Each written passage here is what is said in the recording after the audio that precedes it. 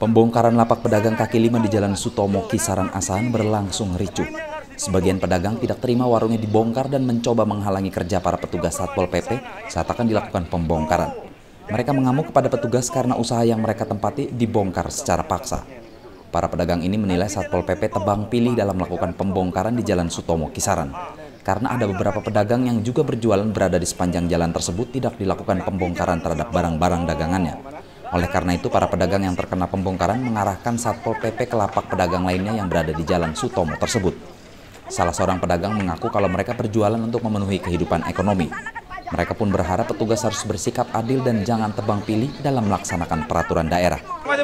Dokter Sutomo kan sana sama sana kan? Ibu tempat ini sewa atau mana? Oh, kami tidak sewa, sewa Pak. Kami bayar sewa. sendiri, Pak. Bapak yang sendiri? Tidak pernah sewa-sewa. Nggak ada yang mengungut, Pak. Tidak ada yang menghancurkan kami. Udah ada surat teguran sebelumnya? Nggak ada kami yang nyewa, Pak. Oh, iya. Nah, Cuman pemerintah langsung kami ini sekarang. Tambah Rambe, Sekretaris Satpol PP Asahan mengatakan pembongkaran lapak dagangan tersebut dilakukan petugas atas pengaduan dari pihak kantor PLN Rayon Kisaran dan pihak kelurahan. Karena para pedagang membangun kios dagangan di depan kantor PLN. Pihaknya juga sudah memberikan surat teguran agar para pedagang membongkar lapaknya sendiri. Meski pembongkaran mendapat perlawanan dari pedagang, namun akhirnya pembongkaran tetap dilakukan dengan lancar setelah mendapat pengawalan dari pihak kepolisian dan TNI. Kita dalam rangka penegakan Perda nomor 7 tahun 1992 mengenai pengaturan pedagang kaki lima. Ini mereka ini apa yang dilanggarnya Pak?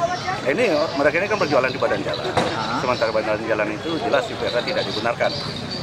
Di pasal 2 jelas tidak dibenarkan. Pasal 2 dari Pasal 2 Perda nomor 7 tahun 92. Bagus ke sana sebagian. Ke sana sebagian, jangan ke sini aja. Semua kasih tahu ke bawah. Dari Sumatera Utara, Tim Liputan Tribrata TV, Salam Tribrata.